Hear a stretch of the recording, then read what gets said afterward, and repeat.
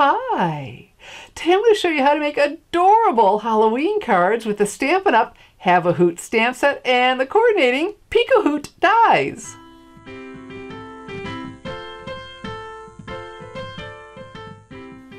You'll have a hoot making Halloween and Christmas cards with this stamp set. I'm Shelly Godby, the owner and CEO of Stamping Smiles, and for 19 years I've been teaching others how to create their own hand stamped smiles. So after I show you how to make my adorable Halloween card with the Have a Hoot stamp set, I'm going to show you another card, a clean and simple card with the same set. Here's a closer view of the Have a Hoot stamp set and the coordinating Peek-a-Hoot dies. Peek-a-Hoot, how cute is that? and order the two of these together using the special bundle item number I have listed right here, you'll save 10% on both. Look, we have three stamps for Halloween. Well, we've got a scaredy cat, well, scaredy cat owl, hiding behind a jack-o'-lantern. I mean, look how friendly he is. And he looks a little frightened and uh, a little bit startled over here with the spider. And then for Christmas, we have the present and then the owls with their snow caps on and look some mistletoe and some greetings. And then with the dies you have a die for all six of the um, owl stamps these frames and some mistletoe. And look we'll be using that spider web too. So we need to start with some stamping because we'll be doing some die cutting and embossing. So what I have here is some Whisper White cardstock.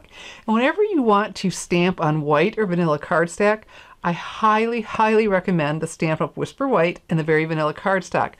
Both have a smooth, tight finish so you get a crisp, clean image. You want that when you're stamping. And I'll be using Stampin' Blends, so I need to use the Tuxedo Black Memento ink pad. Stampin' Blends are alcohol markers. And let's get him good and inked up. How cute. We're using the one with the spider.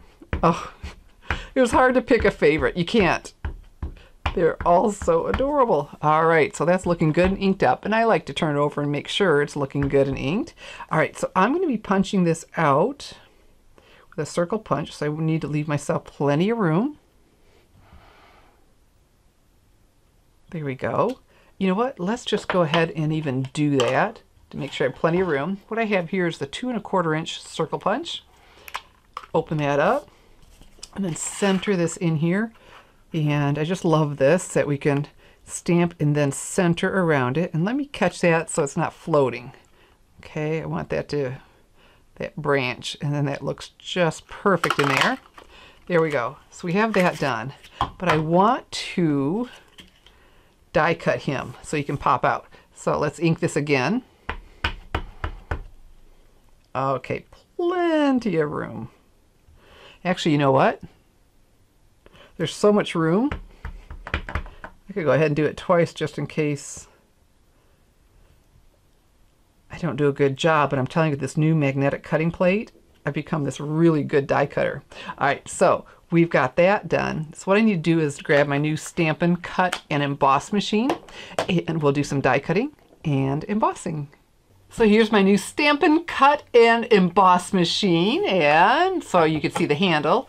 There we go. But let me turn it now. And it folds up like this, so it doesn't take much room when you stick up on a shelf. And then you just fold these down. There we go. There we go. So we'll start with our die cutting. And all of the plates are numbered, so it's really easy for me to tell you the sandwich. We'll start with plate number one.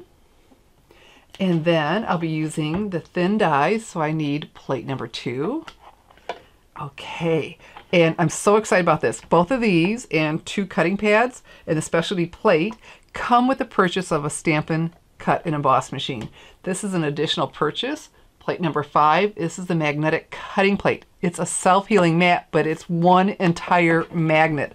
Love this thing. I couldn't wait for that. I was as excited about that as I was the new die cutting machine. And you'll see why. All right, so we put this down and, uh, and then we just need our die that coordinates with it. And there we go. Here he is with the spider. And we just want to center that around our image. What I love about the Stampin' Up! dies, they fit right up to the image. We're not trying to balance white space, so I'm just looking for that black line all the way around, looking really good. And then I have vellum cardstock. Won't that look good for our spider web? So here's that spider web die. And this is really very intricate. And this magnetic cutting plate and the all steel construction of the Stampin' Cut and Emboss machine, we're to cut through it like butter. All right, so then to finish it, what we need is a number three cutting pad. So back this up. I want to place it on there. There we go. And then we'll go ahead and crank this through.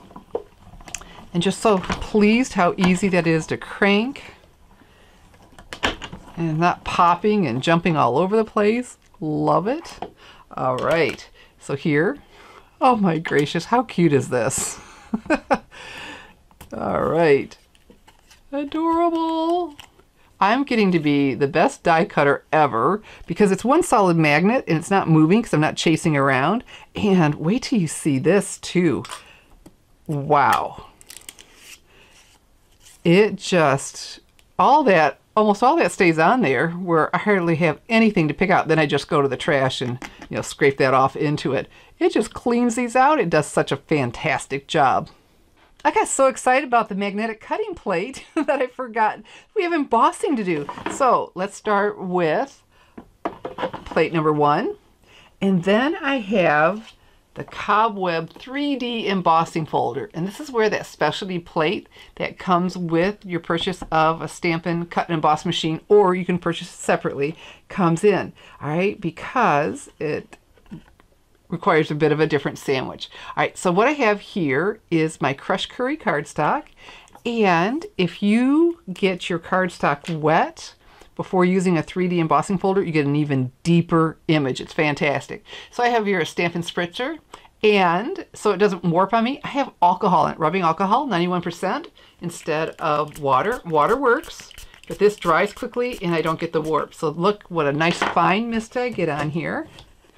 And so we'll place it in here. There we go. Close this up. Put it in hinge first. All right, so no, no, no cutting pad on the bottom. It's just plate number one.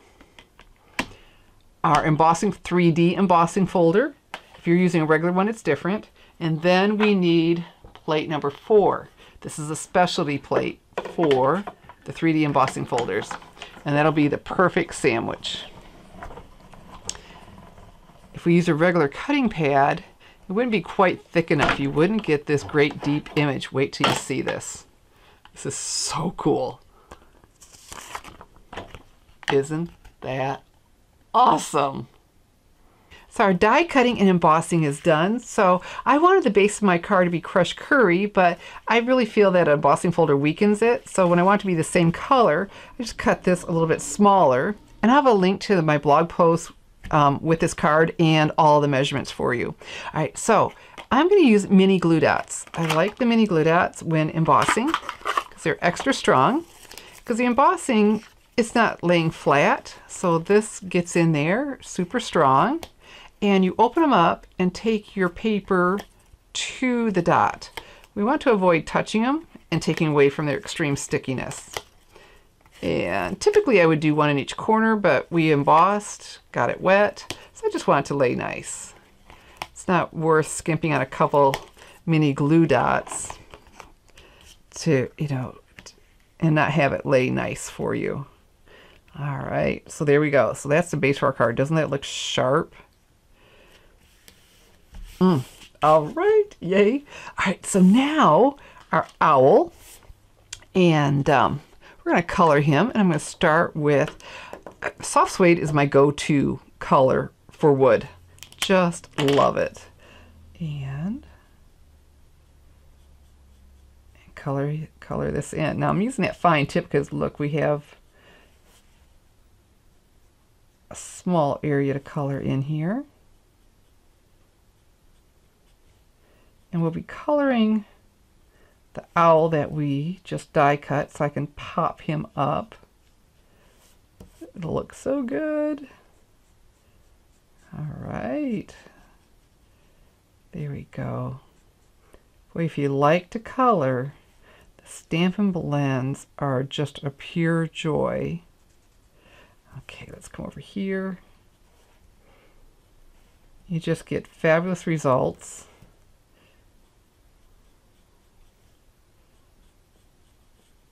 Okay.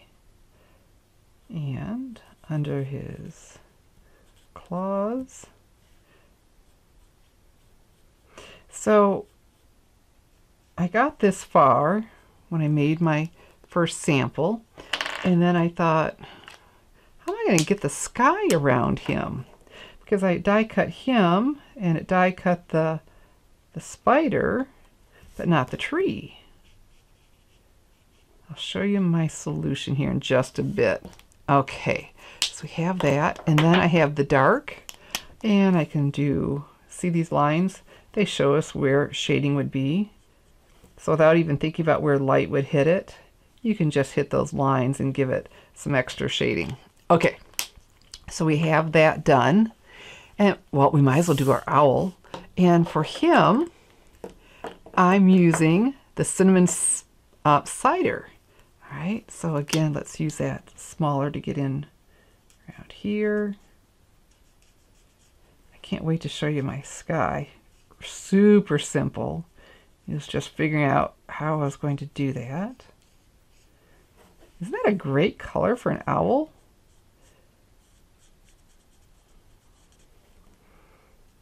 Cute, cute, cute, cute. So let me stop there because my tendency, I think of watercoloring where I put down a wash over the entire thing and then do the shading here. I've got the darker color Let's hit those areas. And then let's go along and do a separation. See when we do some color, that separates his wing from his body, from his head. We'll just put a little bit of shading along there. Okay, we'll do some more in just a bit.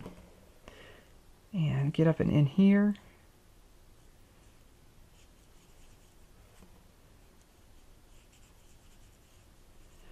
It's easier to color while you have a bigger piece, but I like to color afterwards because if I did all the coloring and then I did a poor job die cutting, I wouldn't be real pleased with myself. So I just have to hang on. Okay. And then let's go hit those feathers and these little marks they gave us. We can come along here, a little bit more shading. Think about where the light was hitting them so it creates a shadow over there. Just a little bit. Okay, looking so good. Let's put these up. And then I have Daffodil Delight for his beak and his claws.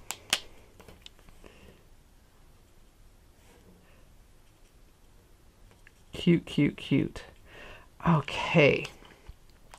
And then while we're doing all of this, let me show you my spider web. All right, adhesive sheets.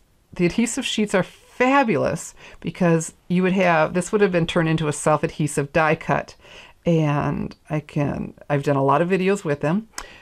I can't find mine. The only thing I can happen was I was going on a trip, you know, and a lot of things on my mind. Have you ever had two things in your hand and the one you mean to keep and the one you mean to throw away? I'm thinking I threw them away. I couldn't find them. So this leaves me with doing something that I don't love. this will work, the multi-purpose liquid glue. And but now I have to be really careful. And I should have my silicone mat underneath me. But so now what I need to do is use this. Oh, there we go.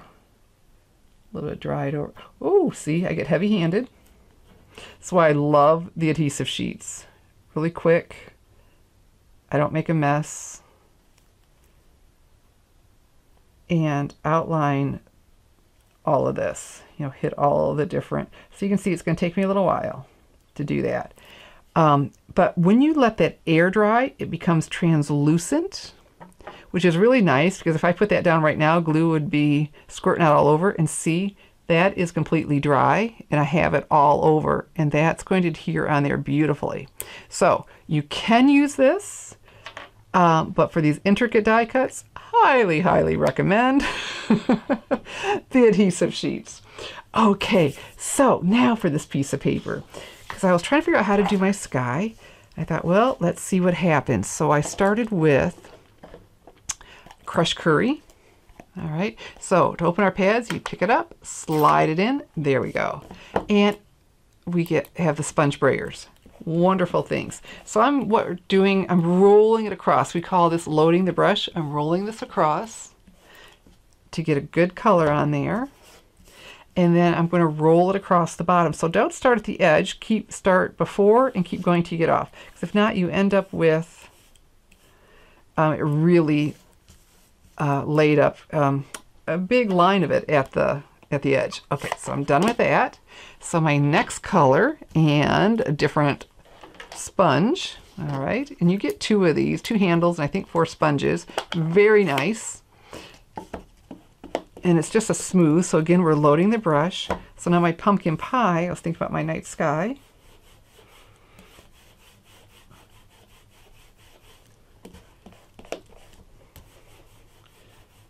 There we go. And so the brown was able to handle the orange and the yellow okay. I thought, okay, cool. That's working. There. That's looking really good, huh? And then it's about to get better. So let's take that away for now. I'll need that when I use the black cardstock. I'm to put all that on black cardstock so you can see. So hopefully I remember to bring that back. So this, oh, look at him popped up. So adorable. So let's go ahead and do that. When I say pop up, I mean with Stampin' Dimensionals, these foam adhesive dots. One, two, there we go. Press down with your thumbnail. It makes these pop, this backing pop up, easy to get off. Oh, so, so cute. And then with the black Stampin' Blends, I had him um, cut out, but then he was popped up to the same height and I didn't care for that. But with the black, I'll just be able to cover right up what we just sponged in. So that worked out really well. And then he stands out really well. And then if you wanted to, you could take your Stampin' Blends again, although I think it looks good, and go over. But I think the brown looks fantastic. I didn't feel a need to have to go in and, and do that again. How stink and cute is this? and so easy. It worked out beautifully. So now let's bring back, bring this back. So what I had in mind was to put him on here. Cute, cute, cute.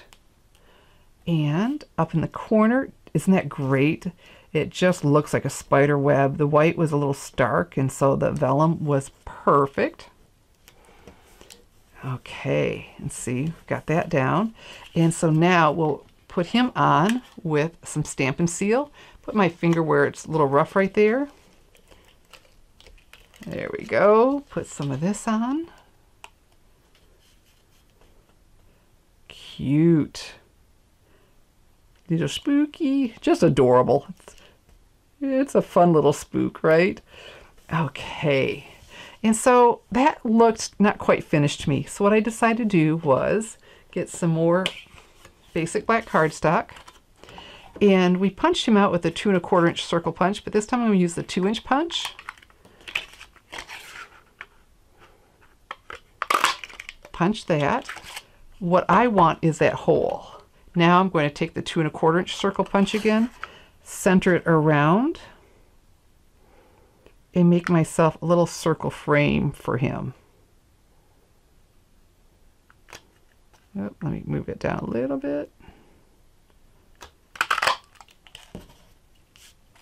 And look at that. That is just a cool trick. Let's use, I'm going to use the Stampin' Seal. You could use the multi-purpose, but then I need to let it dry and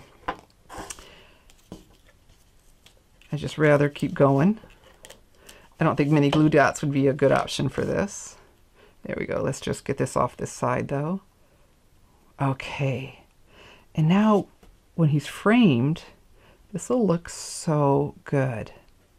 And of course it'll fit because it's the same size punch. And this will just look, it'll peel up, peel up as I rub it. Doesn't that look finished? Don't you like that a lot better? Oh, cute. Adorable. And so now what I need to do is my greeting. So I have here some Whisper White cardstock. And the greeting, have a hoot on Halloween, is from the same stamp set. So back with the Tuxedo Black Memento ink pad.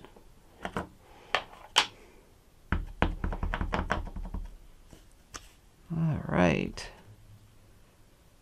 And we'll stamp about right here. Straight up and down, no rocking. Oh, fantastic. Life is good. okay, so I did I wanted to have this decorated up a little bit, and so what I have here is the banners Pick a Punch from the August through December 2020 mini catalog. All right, and so we'll fit this end. Make myself a little banner out of that. You can layer with that one. See all these different sizes? Fit this in, but you know what? I like to turn over and make sure it's really centered. And that's looking pretty doggone good. Whoops, until I moved it. There we go. And just make that little banner. And so for this to go across here, oh, so, so cute. All right, and so um, I'm going to do a couple more things to it, and we're almost done. I wanted to give this a little bit of color. So what I have is some pumpkin pie cardstock. Back again with our Stampin' Seal.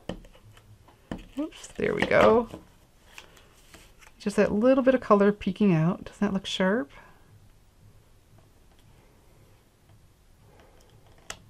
And just trim that a little bit. I don't want that hanging over into the banner. There we go. Fantastic. And then I thought, well, this needs a little bit of help. And I went a little bit over the edge here. Let's trim that. Paper snips, wonderful. Just the nicest pair of scissors. And so to decorate that up a little bit, I got out my Rhinestone Basic Jewels and the black Stampin' Blends. So I use the light on the spider. This is the solid black. And we'll do one of all three sizes. So you can take the Stampin' Blends in whatever color you have in them. Turn your rhinestones and your pearls into colored. Cool, cool, cool.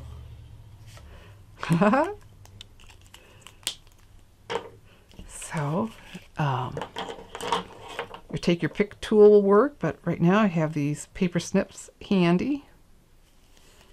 And we'll place these on here. One, and I did one of each size. Looking pretty snazzy, huh? There we go. And, and then I put that on here. And then all this on to the card. Well, at this point, I thought that's really pretty nice. I just wish I had a little something more. Well, I do have a little something more, and here it is. Look at this. Doesn't that look like web? Oh my goodness. So this is, what do they call that? The metallic mesh ribbon. that looks so cool. And so back with our Stampin' Seal. Put some on here. There we go. And I, I won't try to tie a bow. I did do another banner. And I'll tell you why I didn't end up with a banner. Because it was going off the edge of my card. And I, I feel like we have a palette. We need to work within our palette. So I decided, nope, let's stay within our palette, the size of our card, and just trimmed it off right here. There we go. And then now, because this has some stuff on it, um, you know, uh, it'd be hard to put adhesive on there. So we'll use, if I can find them, they're on my table here somewhere, mini glue. Oh, there they are. Would have bit me. All right, so now we'll use the mini glue dots again. Just super strong. If you don't have those, you really need them. And look at that. Doesn't that make that look more special? Oh, love it. And so then, back with my all-time favorite accessory, Stampin' Dimensionals. You know, I say when it comes to cooking, butter makes everything better. Well, when it comes to stamping, Stampin' Dimensionals make everything better. They just, instead of just laying on there flat, we'll pop it up. It just makes it that little bit of extra special. Here we go. And there we have our adorable Have a Hoot card. Oh my goodness. So cool. All right, and so I promised to show you a clean and simple card with the same stamp set. Adorable, adorable, adorable. All the supplies to make my adorable Halloween card with the Have a Hoot stamp set and the Peek-a-Hoot dies are listed below and available to order now in my online store, www.shopwithshelly.com. I'm Shelly Godby, teaching you how to create hand stamp smiles. Thanks for watching.